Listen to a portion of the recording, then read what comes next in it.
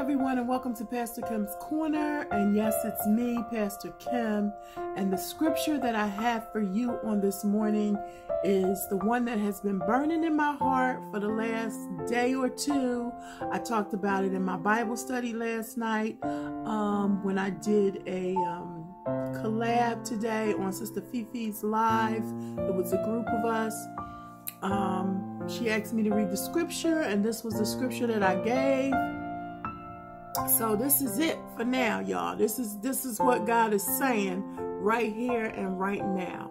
And so it's Romans the eighth chapter, and it is uh the 20 let's see, yes, 28th verse.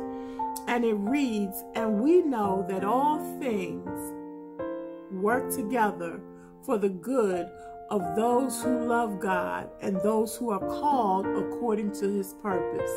Amen. So I'm going to read the NIV and we know that all in all things God works for the good of those who love him, who have been called according to his purpose.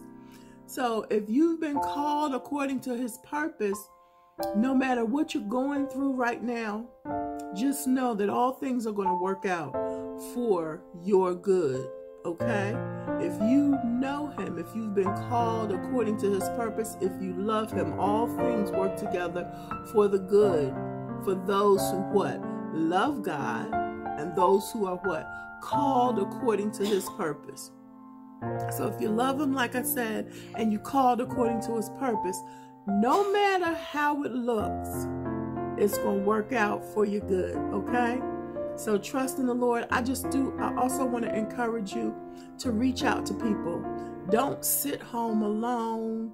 Don't sit home in need. Don't let pride get in the way.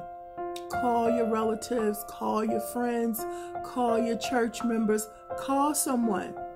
If you are in need, call someone. If you just need to talk to somebody, call someone.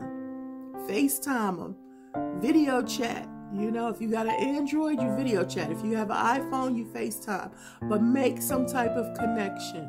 Okay, just just don't remain isolated. You just just because you're in isolation, you don't have to remain isolated. Okay, so I just want to encourage you in the things of God. Know that He's working it out for your good.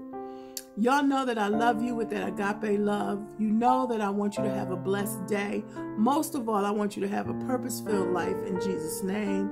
Don't forget to like, subscribe, leave a comment. I love to read your, your comments, they're very encouraging.